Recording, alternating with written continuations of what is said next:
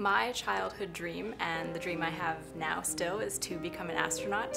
I've always been fascinated by space and exploration, so it's been a constant driving factor in my life and has shaped uh, the degree I took in university, so mechanical engineering, moving on to do a master's in aerospace, getting my pilot's license, and interning at NASA.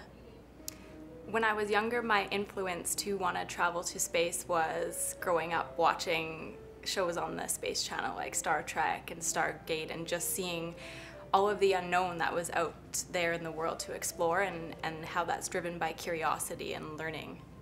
I honestly believe that um, having an attitude just to dive head on into challenge is a really good way to overcome your obstacles and, and just looking failure in the eye and overcoming it. I have failed so many times in my career and you just have to keep going and keep pushing for that dream because you really have nothing else to lose.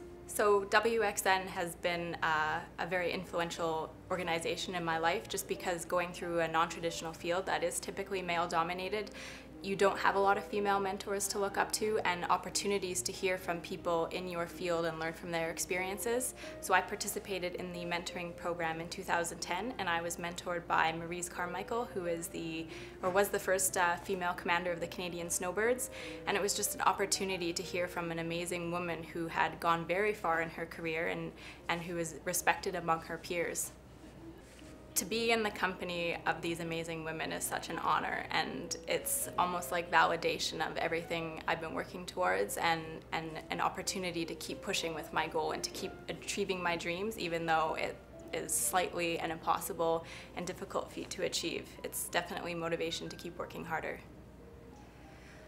Something I would love to tell my younger self is to really look for more opportunities outside of your comfort zone. I think I've done a lot of things outside of my comfort zone, but I, I still see hesitation sometimes when I try something new or want to learn something new. And I would just say go for it. Just try something. See what you learn from other people, see what you learn about yourself in the process.